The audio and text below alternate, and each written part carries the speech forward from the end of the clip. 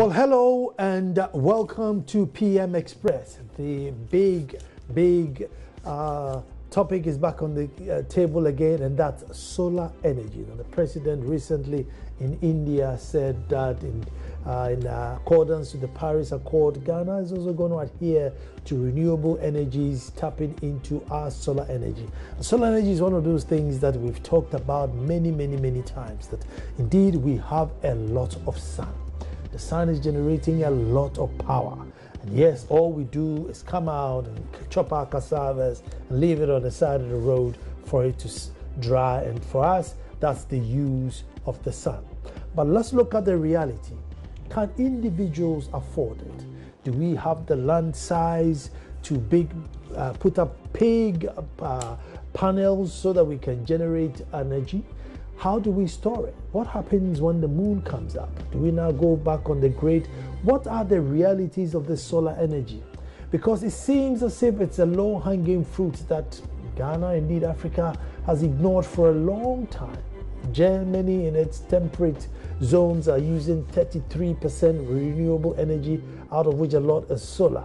So, what are we doing? What are we waiting for? However difficult it is, it looks as if we have to start, and the time is now. But we're going to talk about the realities. You in your home, can you afford to fix solar energy in your house? Those who are running corporations and factories, are you going on solar energy? Are we going to split it up? So, domestic use solar and industry use the grid? Well, that's the issue on the table today. Don't go at all. It's going to be a very, very exciting conversation. My name is Nana Ansah Kwao, the fourth chief of the Little Republic of Akwamu. myself. When I come back, I'm talking to an energy expert. There you go.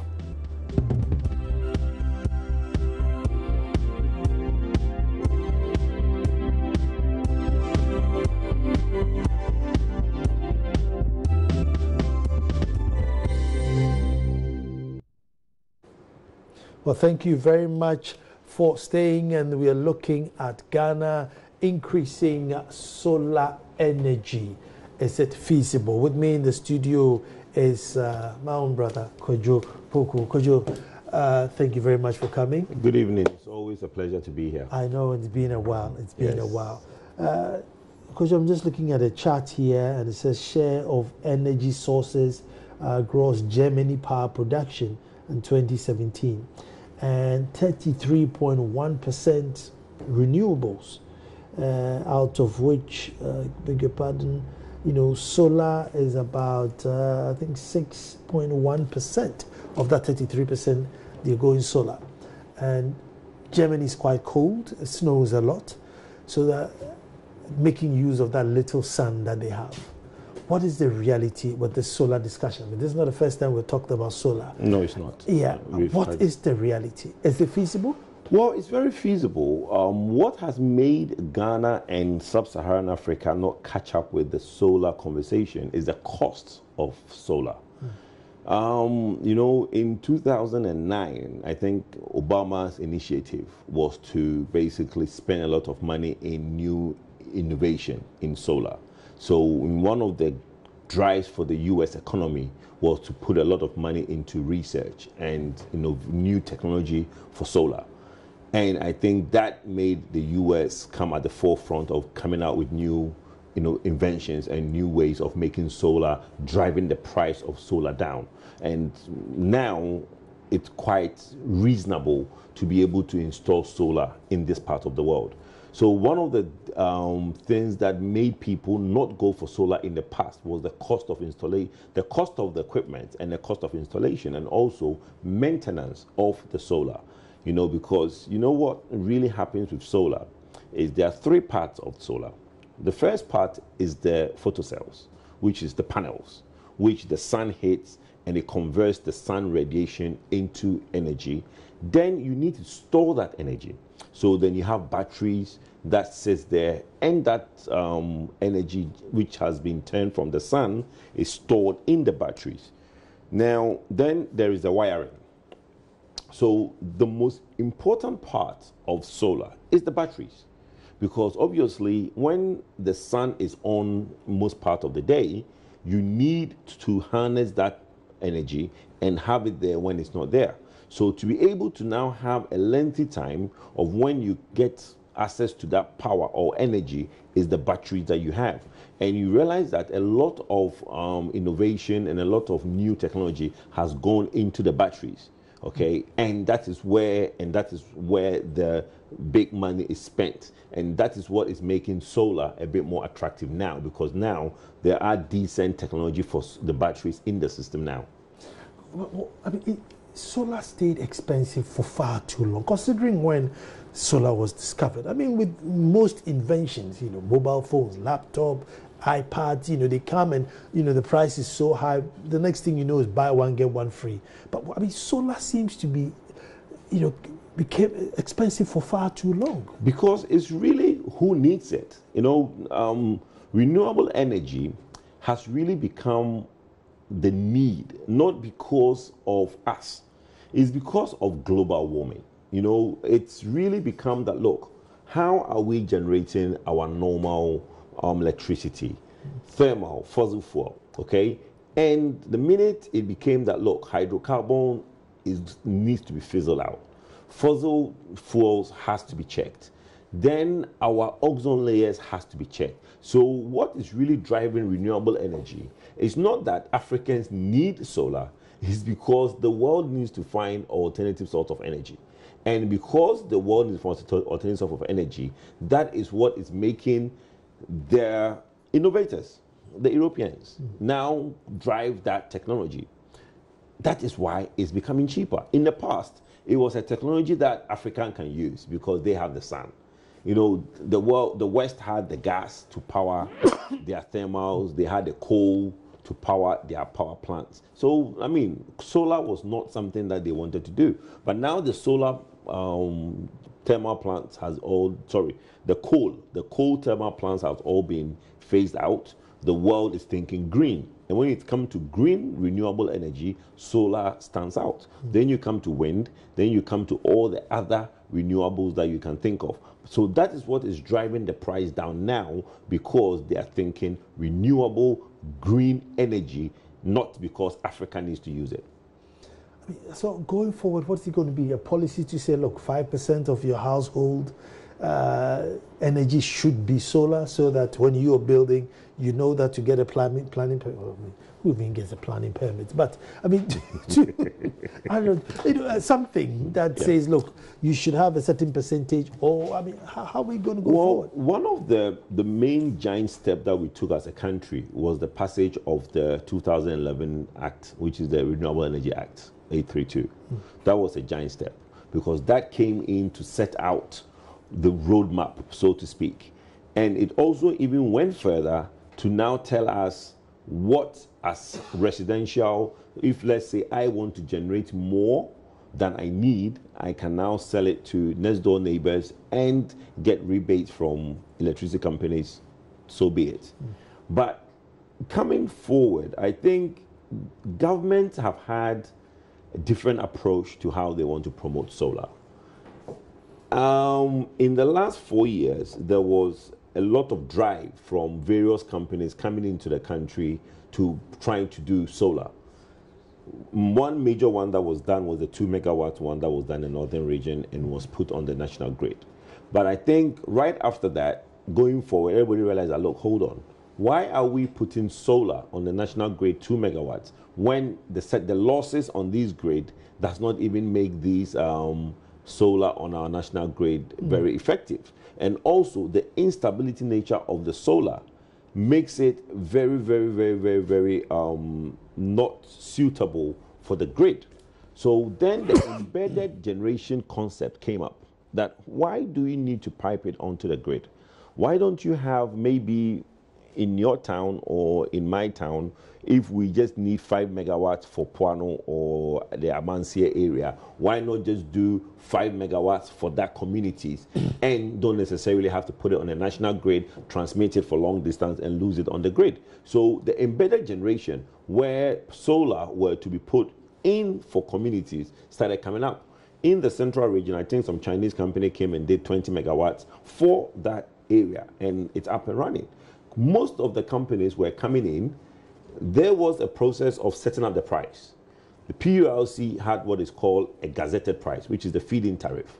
So PURC had a price which, if you come in and say, "Look, I want to do solar," they say, "Look, this is a feed-in tariff from PURC. It's X dollars or S cents. If you can meet that price, then go ahead and build it, and you will get a power purchase agreement with ECG or whoever your offtake is." Fast forwarding that, in recent times, there's been a change in policy, okay? And that policy, I think, came up the latter part of the NDC administration and now within the NPP administration that solar or renewable energy would be only will only be acquired by ECG on a tender or competitive bidding process, which has really stalled that whole thing. Because if you are expecting people to wait to do competitive bidding before they can now go ahead and build all these um, solar plants that they want to do, then it becomes a bit disincentive because competitive bidding in what? Because everybody has a different technology when it comes to solar. So if I have a different technology and you have a different technology, how and why are we being asked to do a competitive bidding? The process where PURC was asked to set a price, then anybody that comes into the country doesn't need to wait for competitive bidding. They can just go into any area, they can do their feasibility in that area and say, look, I can set up in this area. Let ECG, who are the distributors, give me um, a power purchase agreement. Mm-hmm. If I generate, they buy it and they generate to the community. That to me was helping promote renewable energy than the now the policy, which to me is a disincentive for all the renewable projects that's coming along. Two, two issues. These community ones, so do they supply at night as well, or at night you go off the grid? No, it's that's why the, the inverters, which is the batteries, basically the technology now exists that there is enough battery or energy stored in these batteries to last you for the next 24 hours to, so supply, what, to supply the community. So these are not just um, residential um, base solar. These are high-end solar with high mm. power batteries, so it can store as much. There's a company called Tesla. Yeah. Tesla is much in the news these days mm. when it comes to solar and their innovatives electric in electric cars and stuff like that. Tesla has now done these innovative batteries out there that these inverters can now be used for much longer time than when it was. So there is a lot of technology. So in the communities that you do the 20 megawatts, there are the banks of batteries, everything is set up. They harness the, the sun energy and the battery storage, and they can now um, distribute in that community for 24 hours and more. Mm. With regards to bidding, uh, could you, I mean, look at it from this. If, if you're asked to bid, because if I set a price will come and supply, you know, 10 cents per kilowatt, whatever it is, maybe somebody can do five cents per kilowatt. So get them to bid and see if you can get something lower. Well, yes, but then if you are to bid, let me give you an example. Bui Power, okay, Bui Authority did uh, a bidding process and they got nine cents. But the nine cents they got was without land, without transformers, and the transmission. So the company coming in to do the solar mm-hmm. was only coming in, the nine cents is only for the infrastructure that they are bringing in to generate the power. Mm-hmm. But the land, the transformer, and the transmission was not part of the nine cents. Now, going forward, if you now ask companies, so if the government now says, oh, I think nine cents is what I can get, and if I can bid, this is what I can get, it's wrong information. There are technocrats who work in the ministry's energy commission that know what the world market price of some of these things are. Mm. Another thing that also confuses Ghana is the cost of borrowing when it comes to investment into sub-Saharan Africa somebody will say, oh, but I mean, in Europe, it's this, it costs this much, or in Europe, they can do for this much.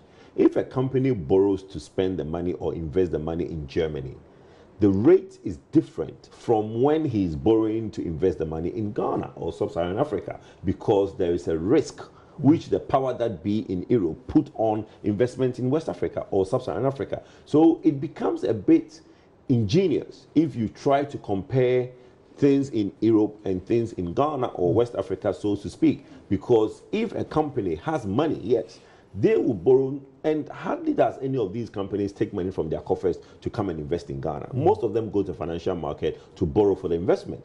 And the cheapest I've seen for investment in Ghana is between 6 to 8% on the dollar. So, I mean, if in Europe they are borrowing for 2%, 3%, and the cheapest coming to sub-Saharan Africa is between 6 to 8%, it tells you that it will be difficult to get um, price per kilowatt hour on the solar the same prices that they are getting in Europe. Mm-hmm. So the technocrats can work it out and know that within reason, if we are getting 10 cents or 11 cents for solar, it's okay. Because look, what we are getting for thermal we all know what the gas prices are, mm. what the pass-through cost of the gas is, and what we are selling them to me and you. So if somebody can come in and say, look, I'm going to do 10 cents, or the feed-in tariff is 10 cents, then that's all well and good. Let that person come in. The problem with the bidding is the time at which the person has to wait because government has to now determine the times at which this bidding is done.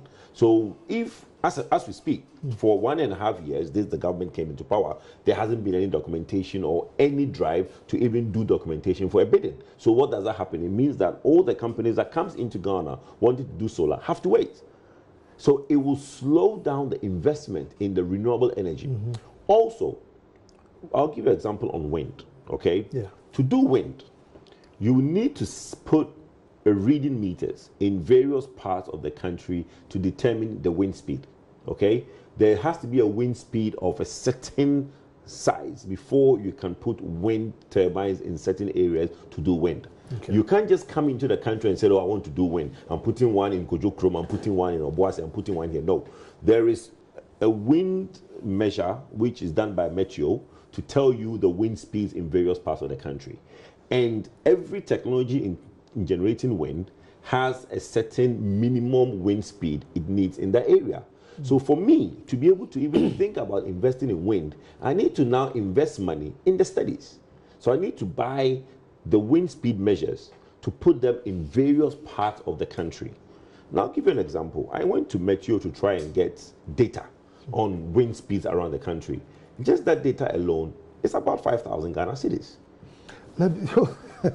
Hold on, let me take a quick break and come back. 5,000 Ghana cedis. I thought it would be available, uh, you know, free for everybody to access, but we're coming straight back. Well, thank you very much for staying and literally, Mamiskana Minchiro Bibia, Eframa Ebo. no, but they, the Meteo has to make money. You remember I recently? Guess they, I guess they have a uh, point. Uh, uh, yes. You remember recently they were trying to take. They're saying that uh, uh Ghana Airport owes them money because mm. they also they bought those uh, meters the wind speed uh, meters to put in various places to determine those, and they collect that data mm-hmm. to sell to companies like myself who comes in and wants the data. Mm-hmm. So because you don't know where the wind blows or where you need the speed, you have to buy as many data as oh, possible. We are told that the, the Volta Lake is, is like a wind corridor being.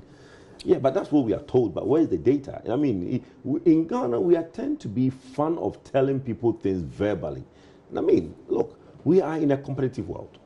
The investor comes into the country. He says, Look, I can do X, Y, Z for you. A company was even prepared to say, Look, we will even give you the machines to go and do the work.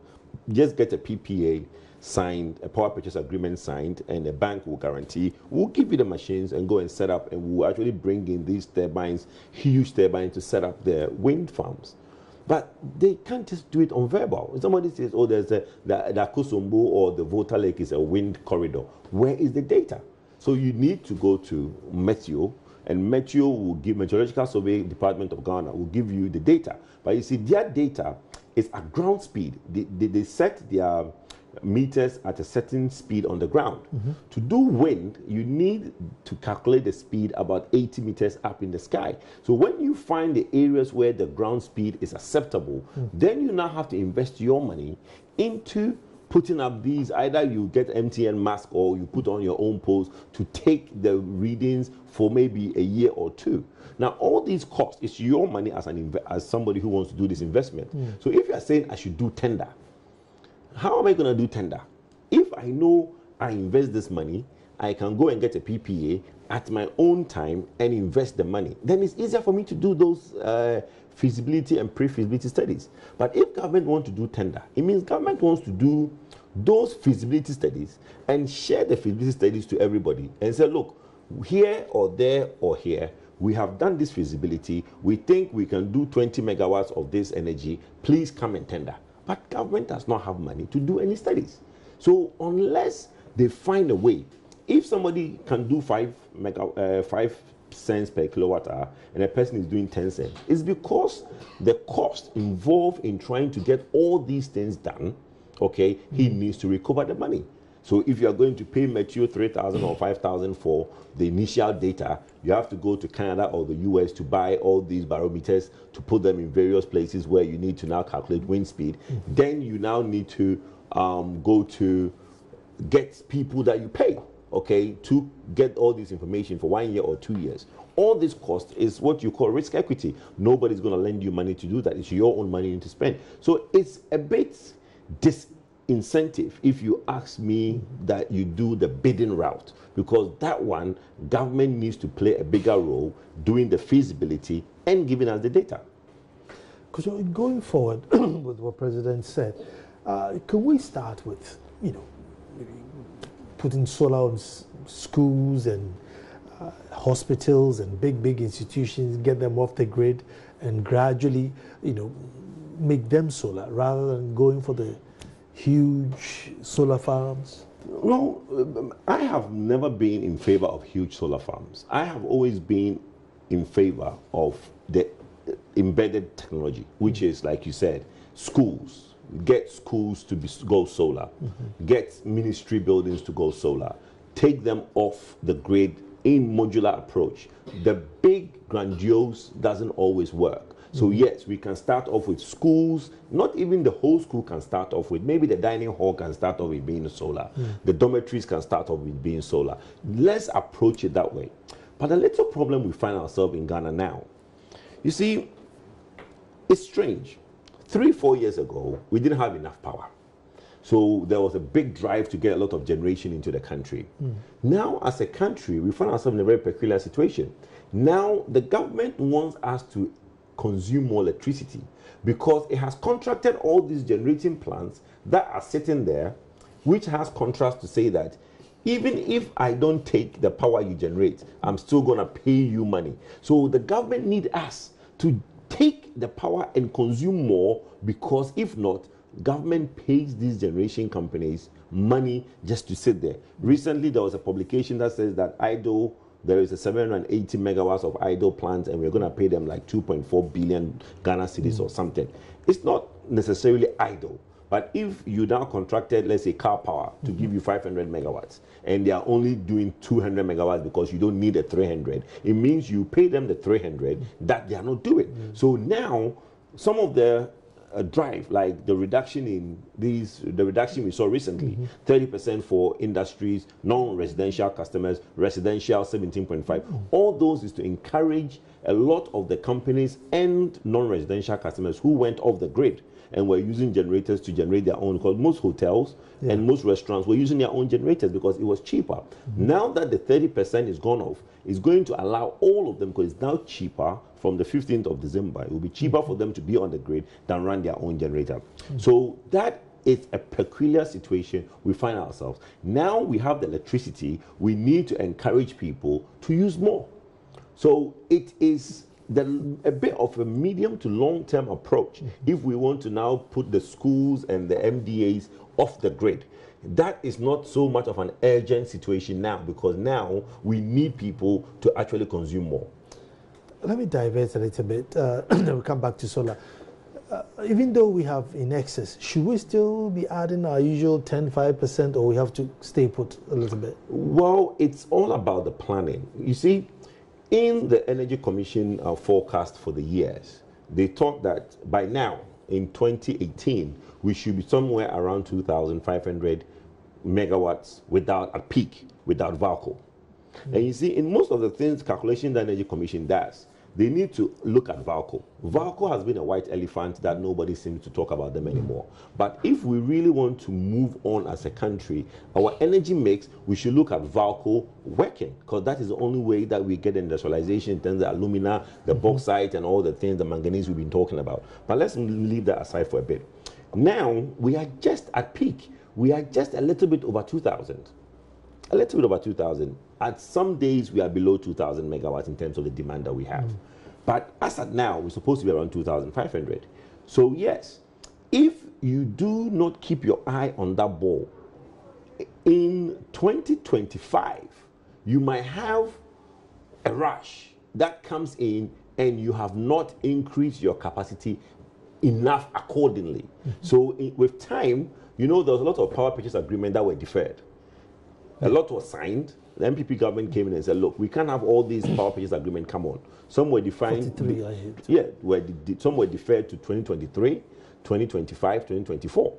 So if those are to come in gradually, as the country now increases in population, mm-hmm. middle income base expands, industry, medium to small scale, then yes, the planning is very important because if you look at the past, when we've had Dumsor, it's always been like 10 years intervals. Seven to 10 years. Every seven to 10 years, we've had Dumsor because the planning has not been on course. When we are in this seemingly the light is on mm-hmm. approach, politicians and the people thereof go and look at other things. But now is the first time that we are actually having a situation where people are trying to say, look, let's not keep our eye off the ball. Let's try and increase our capacity going forward. The only thing that will save us is we need to now generate cheap and affordable electricity. So not only can we now sell to Ghana, but we can also sell to our ECOWAS neighbors. Because if the generation that we are doing in Ghana is too expensive, our neighbors won't buy them. Mm. And though they need power, they won't take from us because we are generating electricity and all the plants will be sitting there because if we generate them, it will be too expensive. I mean, uh, what, what would then happen? Because uh, like we, we uh, like I said, we have in excess. If if we bring in the solar, then what we going to end up paying for all these energy that we're not using? Aren't we going to be shooting ourselves? No, we are not. Because bear in mind, there are also communities that are not on the grid.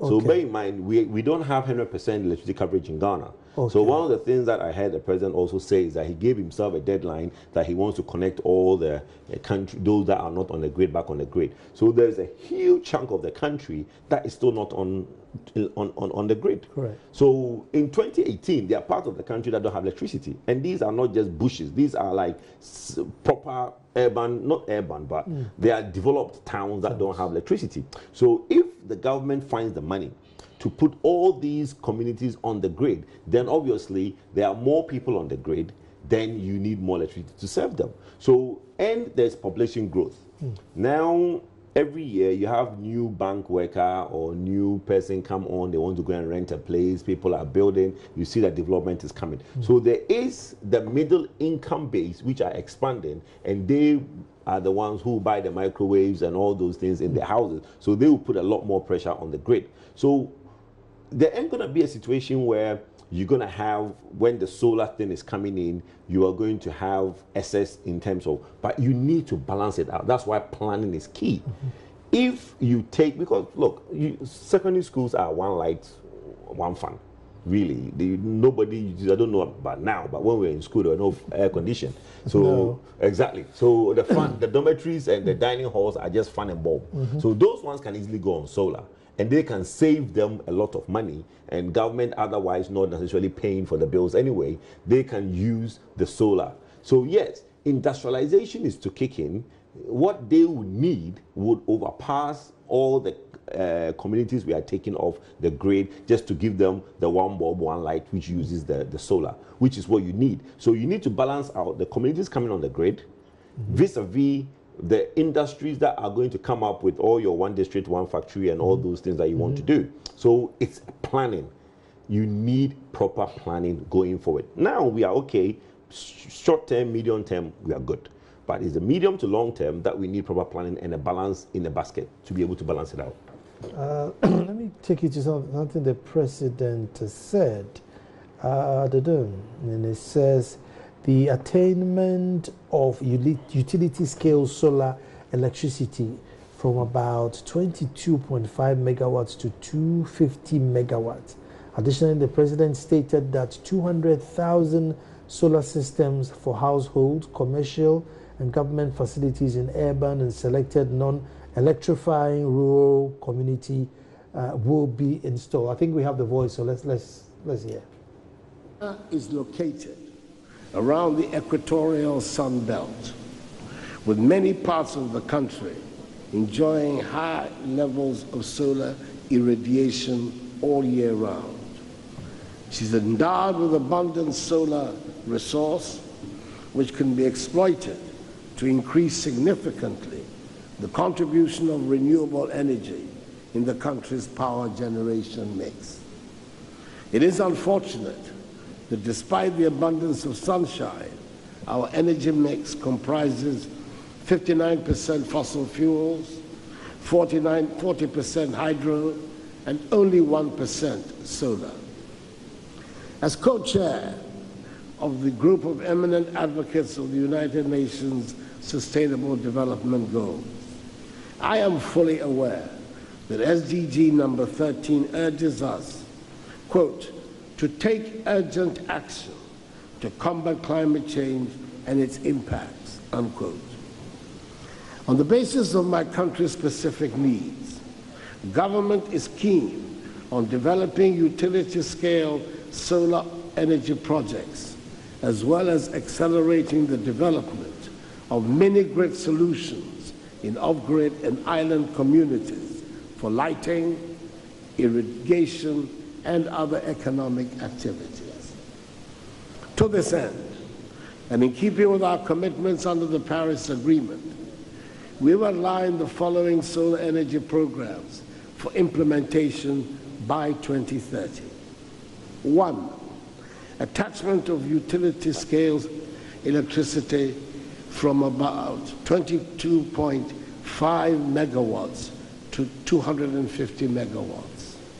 Two, scaling up the installation of 200,000 solar systems for households, commercial and governmental facilities in urban and selected non-electrified rural communities. Three, establishment of 55 mini-grid electrification systems with an average capacity of 100 kilowatts. These systems will be based on solar PV technology, which will be hybridized with other generation options to serve islands and off-grid communities. That's it. So to 22.5 megawatts to 250 megawatts, 200,000 solar system for households, commercial, government facilities. It's a fairly big ambition. Fairly big ambition. And these are to be done PPP. It's not government wanting to do them themselves. It's private um, public partnership or just a private company coming in to do it just because I mean it's inve- but the point is the necessary incentive has to be on the ground. You see, if you want to have solar, maybe if you're able to put in solar in the next two, three years, solar will probably be cheaper because the infrastructure is there and the sun is free. Because mostly what gen- what determines your energy cost is the fuel source. Mm. Okay, so maybe if I come in and say, look, I can charge you nine cents per kilowatt hour to do you solar. If you now pay that over maybe two years, after two years, it's practically free yeah. because the sun is free, which is your fuel source is free. So what the government needs to do is to look at the investment cost that most of these private people coming in to do it. Now, it's all well and good to, to enumerate all the things you want to do. But then, if you don't give the right price for the investor to now risk his money in the investment, then obviously it's not going to happen. Government has social responsibility to the nation. So if government had money, or government decided, decided, look, we are going to now take money from X place to implement all these things the government is talking about, then hey, we all clap. But obviously, that's not the case. Government wants all this mini grid that he wants to do, or government wants to do. You need people like myself to raise the investment to come in and build them. But we can't do it if you don't give us the right price. And it won't happen if you want to do competitive bidding. Because competitive bidding, yes, might work for you in some cases, but bear in mind, technology is different. Because unless you have a middle ground in technology and say that, look, these are the technologies I want to use, then everybody should provide me this technology. But that means government needs to find the money to do the feasibility for that project. Then issue out the RFP, which is a request for proposal, for people to come and bid. But as it stands now, government don't want to do feasibility, but government wants to do all the things that's been listed.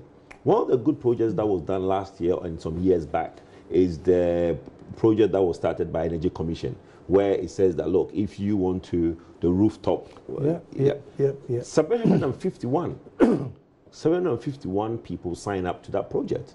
So those are some of the things that Energy Commission and the ministry can continue.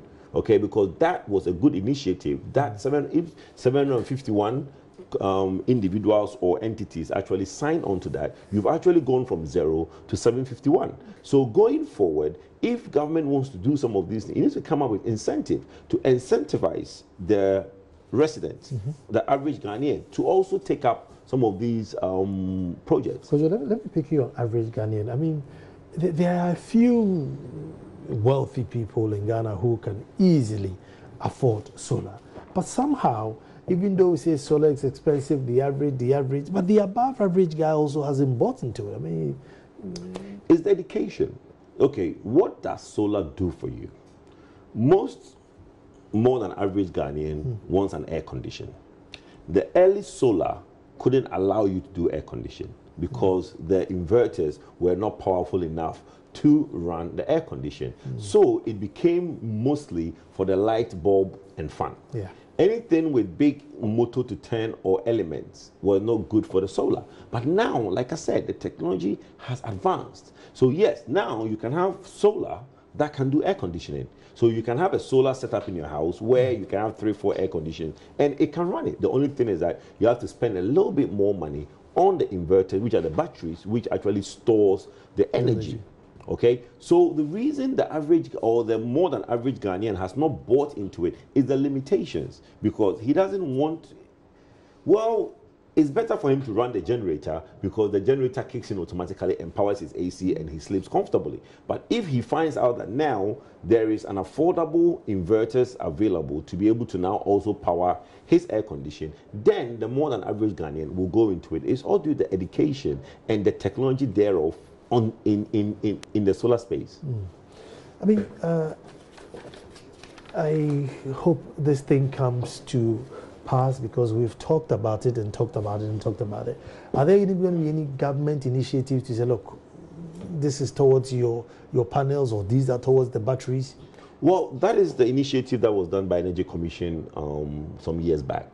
That was where they're saying that if you buy the accompanying equipment, they will now give you the panels to match them. So mm. if you say, look, I want to spend X amount on maybe inverters and the cabling, they'll give you the the the the, the cells, the photo cells, which is the panels, to match them. You see, it's not just a talk shop. When the president goes out to make some of these speeches, I really want the Ministry of Energy to take some of these things very serious. Renewable energy has become a talk shop. Hmm. Whether as a country we are really serious about renewable energy, we've not shown it. We've not. You know, yes, like I said, the giant leap was the enactment of the act, which came into play and nothing you need to be able to put the money where your mouth is.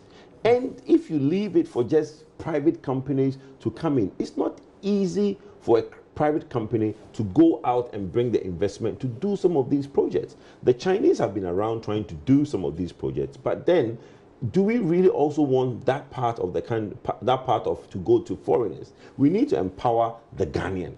Recently, someone tweeted that uh, Ghana has to become the next Wakanda. And I said, yes, the only way we could do that is if we empower the average Ghanaian. We're not empowering the average Ghanaian.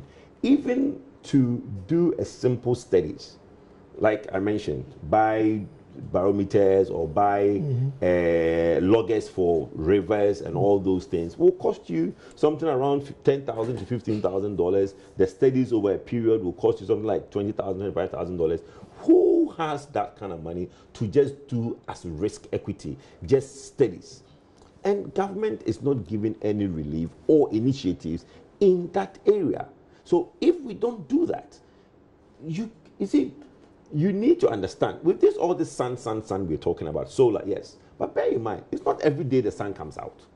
Let me let me put uh, hold on that because I was just going to find out. And apparently, there are certain hours of the day that the ray, the rays you get from the sun are just rays cannot be converted. We're coming straight back. Well, if you're just joining us, uh, the president in India recently you know, made a very powerful statement that Ghana indeed is going to shift towards solar energy to add to our energy mix. And uh, we've got into the point we're looking at reliability of the sun. Sun doesn't come up every day, and it's not every part of the day that the sun's rays even generate electricity. So, how reliable is this same sun? Because we see it every day, so we assume it's there every day. Well, there are also technologies that is out there that is able to harness even the least of rays. That's why I'm saying that there are various technology that's out there. There are some panels that need a certain amount of sunshine to convert it. Mm-hmm. There are some panels that use the least amount of sun rays to also convert it into mm-hmm. um, energy. So the technology out there is different. And the most important part is the inverters, the batteries that store the energy. energy. In some instances, some can even give you maybe 48 hours. And what happens is that anytime the batteries are fully charged, it will last you maybe 48 hours or more.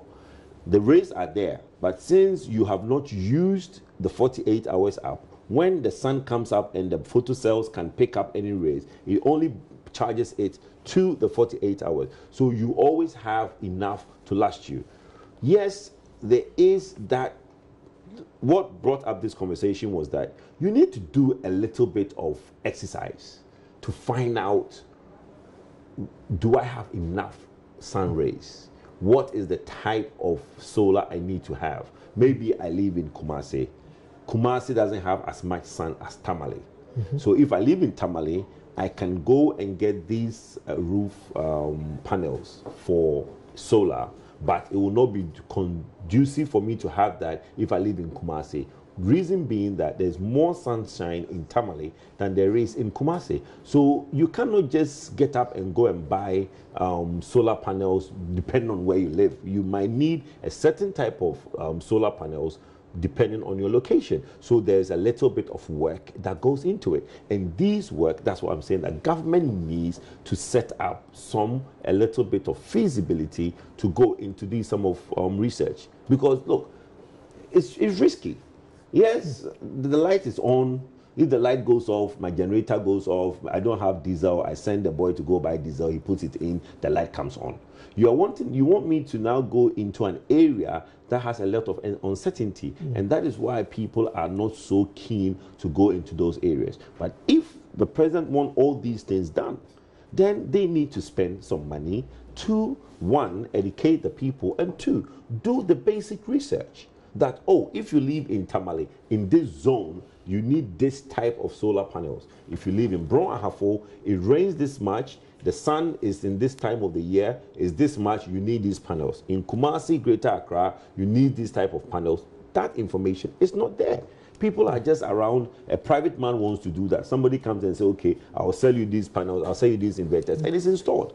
But we need a lot of work and studies to be able to be sure how and what you need at what point in time. Uh, one of the issues that came up in the past was the duties and taxes on these panels. And then you're thinking that, oh, hold on, you know, we need them to get us off the grid, and you're penalizing us, and then, well, I'll stay on the grid. I mean, is there one thing that you, you think they should look at? Well, yes, it would help if we don't tax the solar panels. To even improve, look, if the government goes off and say that, look, we are going to do massive solar projects. Mm. We need X amount of solar. Mm. It might be enough for somebody to even set up the assembly plant in Ghana. Because look, what generates industry is the market. And that's something that in Ghana we are doing wrong. We are trying to set up all these factories without even thinking about the market or the need for these products. What drives and what will make me or any other investor comes in and set up in Ghana is that if the government comes and says, look, like the president said, we are going to now invest maybe $5 million in panels. Straight away, someone sits there and said, hold on, I can set up a factory for $100,000. Why don't I set up in Ghana? And if local content will come to play, then I can set up the assembly plant in hmm. Ghana. So then straight away, you are now generating all the industrialization that you need from just creating the demand. Okay, but if you don't go ahead and create the demand and say that, look, I'm as a government, I'm going to spend this money, because that is the driver. Individuals cannot come and say, I'm going to spend this money. The biggest employer, the biggest person with the, all the MDAs and the state owned enterprises is government. So if government decides to spend X amount of money, it might ginger people. Some of the one district, one factory that government wants to do can be assembling of solar panels. Education. Yes. I think uh, uh, listening to you, I think that's one thing that's really missing here is education because there are mega factories in Ghana. There are, you know, few rich guys in Ghana who could have easily just diverted and gotten off the grid, but we all sit on the grid. Even through doing so, we just sit and wait for the lights to come. We never. I mean, how do we convince people? Because it's, it's like a black and white thing. So how do we convince people that look, it's a good idea? Have a look at it. It may have the initial cost, but you know, and, and, and, it's the work of Energy Commission. Energy Commission are supposed to educate us through the Civic and Ministry of Information and all those to educate us on some of these things. A lot of people have these smartphones and they don't even use them to read. Mm. They just use them for WhatsApp and all the things they use them for. If you really think, look, like you read from the beginning of the program, Germany, Italy, and all these advanced countries have used solar to their benefit to a large extent. Why is it that we sit here and we can't do that? It's like you said, education, but we can also educate ourselves mm. because the technology is there. Now I can honestly tell you that we've moved on from the times when we were not too sure of the technology. Now the technology has far advanced. Mm-hmm. And it's not like in the 80s or the 90s or the early 2000s when technology for solar mm-hmm. was very inconsistent. Mm-hmm. Now it's really advanced. So if we want to, as a nation, I think I don't like always saying that government, government, government, but this is one area that I think government should take the lead in the education and also providing some small money for a little research here and there to make sure that people in the right place of the country have the right technology, um, the right information. You say you're going to give um, solar lanterns to uh, the villagers and people who are off the grid. It's good news. I mean, but if you give the solar lantern to the person, what's the education on how to use the solar lantern? At what time of the day can he charge it? If in Siomuna the whole day, ah, does he still charges it? You know, so we need to, I mean, private people cannot come and bring their money to educate people unless there is some incentive for me to do that. But the person responsible and the person making the big speech is the government. And to me, so far, I think they have not led the way in the solar drive. Well, uh, let's let's hope this this this will be that turning point because the solar you know, conversation seems to have a, a, wave on its own. It comes and it goes and it comes and it goes. Let's hope this would uh, be the one that really changes. I don't know why, but I just let's just. Well, hope. and also I think when it comes to renewable, we shouldn't always now on solar because there are other renewables. There's biogas, there is wind energy that I talked of earlier, mm-hmm. and there is the waste to energy. You know, we have, I mean, somebody asked me the last time, ah, you, how come we have a lot of waste in Ghana, but waste to energy has never taken off? Mm. Okay, because look, again, research. Where do we dump our waste? Okay, if you go to our areas where we dump our waste, you'll be surprised what informed how we dump the waste there. Somebody will do a query somewhere. And when it's an abandoned quarry, the municipality decides that we want to fill the quarry, so that is where they dump waste. How can that place be a dumping site? And you expect to now have a waste to energy facility, you mm-hmm. need to have good areas, engineered landfill sites, okay? Engineered landfill site to now dump your waste. So that if somebody wants to now tap the gas that comes from the landfill site, mm-hmm. they can tap the gas into energy. If the person wants to actually do the old fashioned yenshino, you know, that kind of thing, then the mm-hmm. person can also do those things. But it's a bit old fashioned if you expect people to come in and start burning stuff to generate um, electricity. But it's mostly to do with landfill sites where there is gas that is transmitted from the pipes which is built in a landfill site to go to thermal plants to now run the thermal to, to run the thermal plant. But we don't plan and engineer well, and that is the problem. Well, solar energy, solar energy. Uh, let's see what this new wave of solar conversation will generate. I hope it will get down to the roots so that the pressure on the grid then uh, 20 seconds. Do you think if we lots of people use solar, the price of uh, you know energy will go down because demand and supply? No. As, as in coming from fossil fuel. No, it wouldn't because you see, also the, the only thing that some 20 of us are some of us are, are striving for is the day where industries pay less than residential, I and that is where we need to get to get to. We right now industry subsidizes residential. Residential. We need to get to the point where we have cheap, efficient electricity that industry pay less, and that is when we see a lot of these uh, rejuvenation that we want in our industrialization. Well, uh, 024 366 2001. 024 366 2001. Tantees, they make my shirts for the show. Give them a call. Get yourself a nice shirt. We're talking to Kojo Poku, an energy expert. What's your dad's name? Nana Asase Ayeboa for the second. Nana Asase Ayebua, the second happy uh, first anniversary on the 8th of uh, April. We can't be there, but we'll be there with you in spirit. Enjoy.